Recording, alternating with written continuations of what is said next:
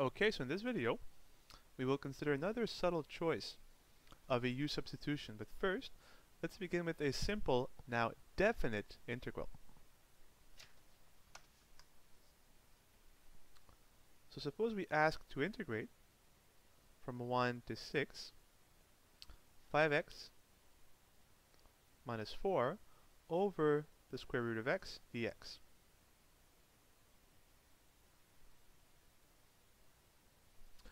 Well, this is pretty straightforward, right? Replace root of x by a power of 1 half.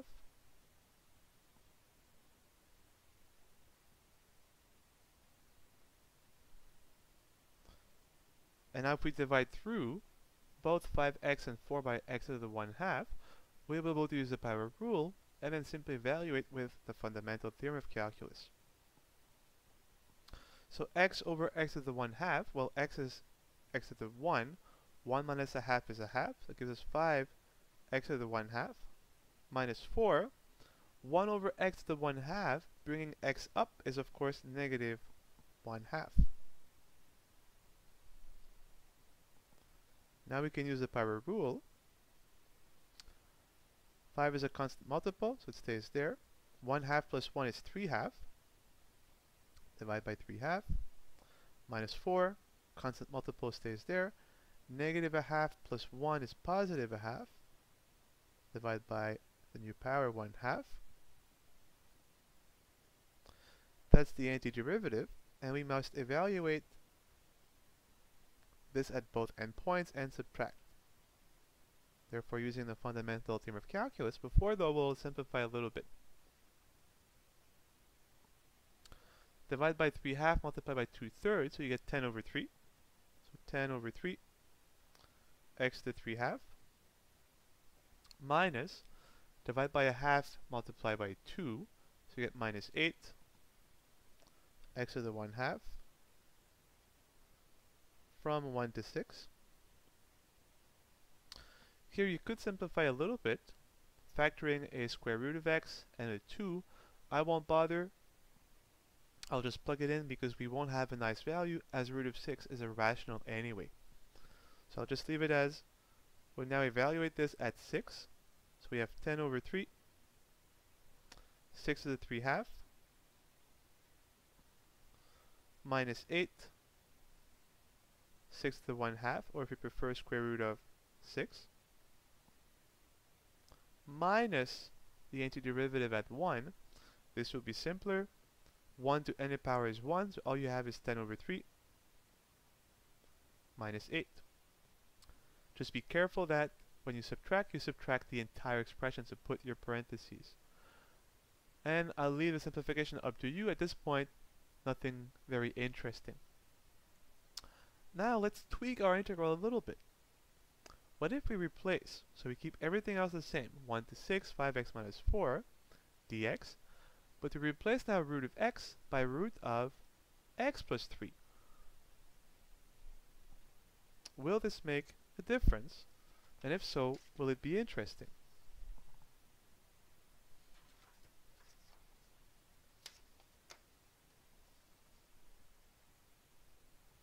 So we want to integrate from 1 to 6, 5x minus 4 over the square root of a sum of two terms, not just x, but x plus 3 dx. Is this more interesting, and if so, why? Well, if you remember the previous integral, it was just root of x, the root of a single term and not a sum of two terms. And we could simply divide through each term by root of x, power rule, and we were basically done. But because of the plus 3 here, we can't divide x by root of x plus 3 and 4 over this and use the power rule. We're stuck. So once again we face a problem we've seen before. We'd like to replace the sum of two terms, x plus 3, as a single term.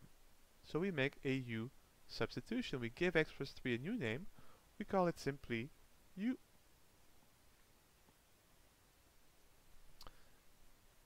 Well, we'll need to find our dx as a function of u. Well, u is a function of x, so differentiate u with respect to x. But the derivative of x plus 3 with respect to x is simply 1. Multiply by dx, and quite simply, du equals dx, or if you prefer, dx is du. Well, we'll also need to change our bounds of integration, right? This is saying x equals 1, x equals 6.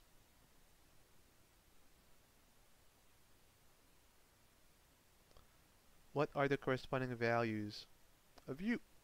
Well, use x plus 3 for any x, so if x is 1, 1 plus 3 is 4, so u is 4. If x is 6, u is 6 plus 3, which is 9. And now we have our new bounds of integration. One last observation is we'll need to replace this x as a function of u. Well, if u is x plus 3, subtract 3, and you'll find that u minus 3 is simply x. And now we have everything we need to replace the integral in terms of x to an integral in terms of u. Bounds of integration, 1 becomes 4, 6 becomes 9, as we are now going to be with respect to u and not with respect to x. Okay. Over the root of x plus 3 well, if u is x plus 3, root of u is root of x plus 3. But I won't write root of u, I'll write instead u to the 1 half. Check. Then we have 5 times x. And we have to replace x as a function of u, and we have just done so before. x is u minus 3. 5 times u minus 3 and be careful that all of u minus 3 is multiplied by 5, not just the u. Minus 4 is a constant, it stays minus 4. And dx is just du. So everything in terms of x we replaced in terms of u. Now we're good to go. We'll never have to go back in terms of x. We'll just evaluate this.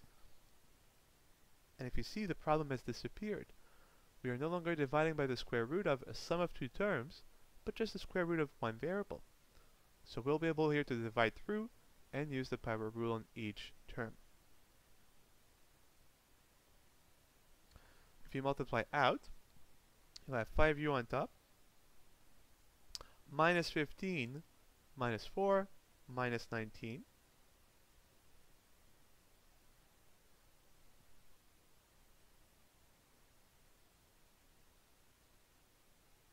over e to the 1 half du. Now we can divide through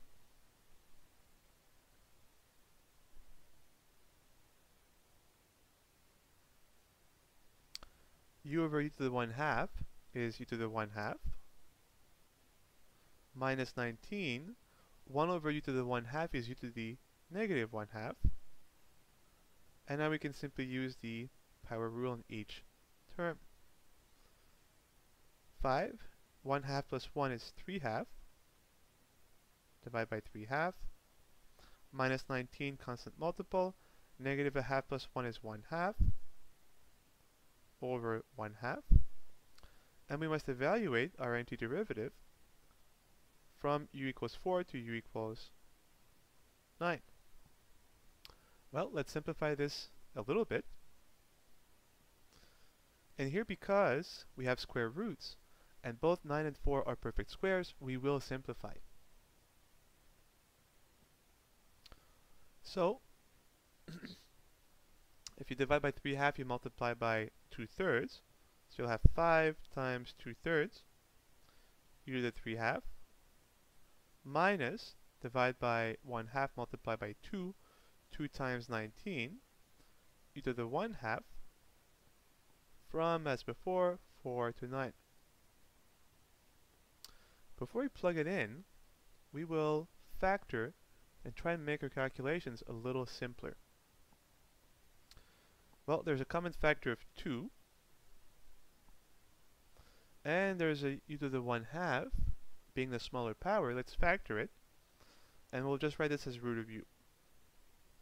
If you factor it, it's gone. If you take a half away from 3 half, that leaves you with 2 over 2, which is 1. And that leaves you with u. So all you're left with is 5 thirds u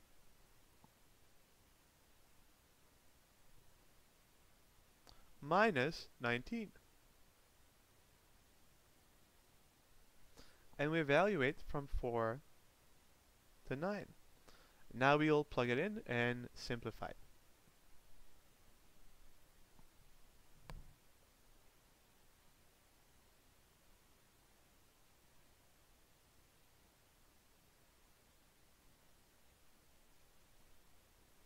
So we plug in u equals 9. We'll get, well, the root of 9 is 3. 2 times 3 is 6. So we get 6 times 5 times 9 over 3. But 9 over 3 is just 3. 5 times 3 is 15. 15 minus 19 is negative 4.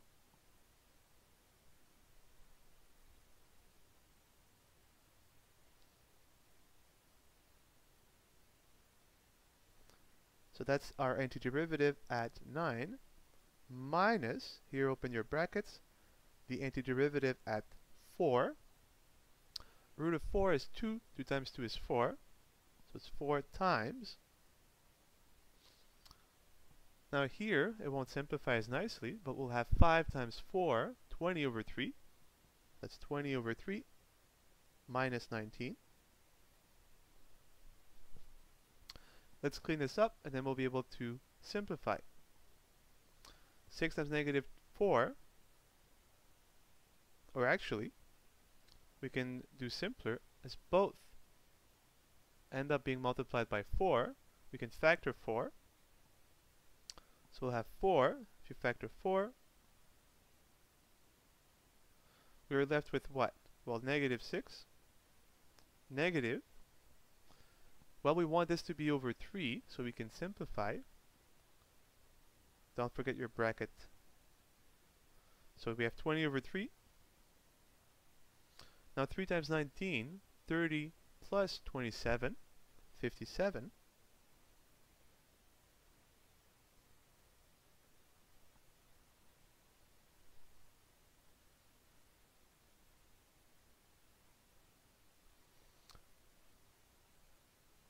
20 minus 37 minus 57 is negative 37. But we have negative negative, so it's positive 37 over 3.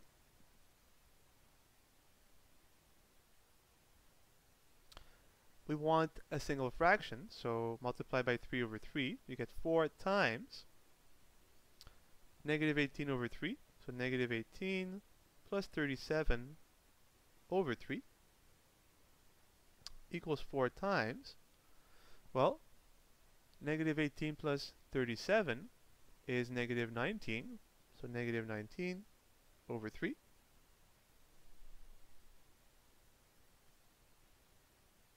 Oops, sorry. Not negative, but positive 19. Right? Negative 18 plus 37 is positive 19.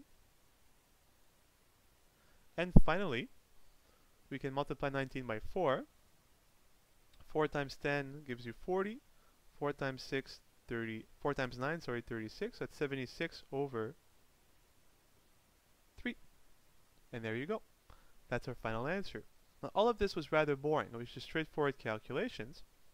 But ultimately the idea was, if you divide by a square root like this, and there's a sum of two terms, the only way you'll be able to divide through and then use the power rule is if you make the sum of these two terms into a single variable. And the rest was really just algebraic manipulations. The integration was very simple, and really all of this was just crunching out the final simplified answer. So that's it.